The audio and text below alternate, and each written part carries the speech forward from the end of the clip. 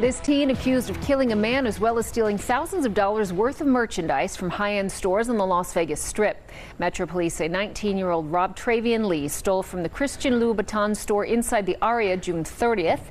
He is also accused of stealing from a Louis Vuitton store earlier in the month. Police have also connected him to a murder in a pawn shop parking lot. He is facing a number of charges, including open murder, robbery, and burglary.